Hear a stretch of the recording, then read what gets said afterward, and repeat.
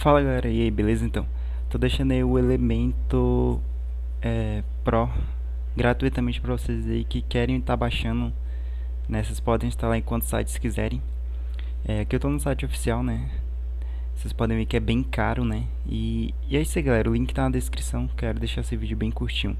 Só vocês baixarem e importar no seu WordPress. Vai estar tá a versão free e a versão Pro.